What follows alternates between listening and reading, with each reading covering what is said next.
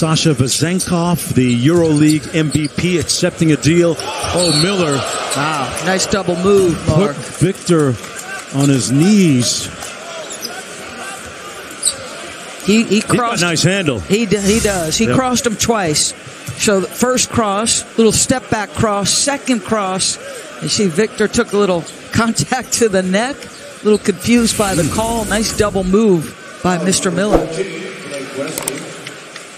number one.